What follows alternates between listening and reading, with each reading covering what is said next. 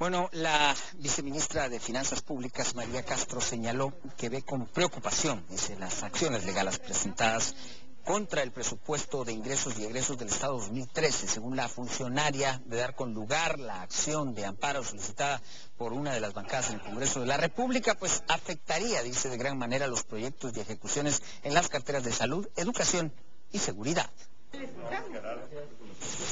Creemos que no va a tener eh, frutos el recurso interpuesto porque tengo entendido que la diputada, y nosotros le estamos dando seguimiento a ese recurso entre la Corte para poder nosotros presentar nuestra argumentación de por qué el recurso no es válido.